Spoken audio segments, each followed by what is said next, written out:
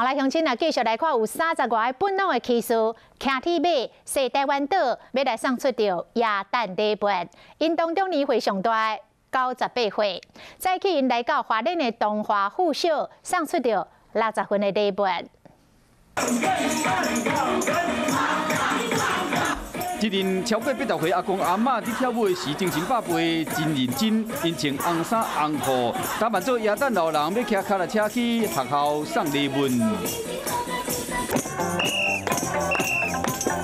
伫加油声中，大家唔惊，赶骑脚踏车向前冲，为华联县政府骑到东华附小，其中上老的是九十八岁康明林老伯。年纪虽然是不小了，不是我们还有这个福利。带出来，要引导老人走出户外。目睭雾雾，要过跳舞可以袂倒，亲手将一分一分的小礼物送给小学生，好只囡仔提早感受到家这的温暖。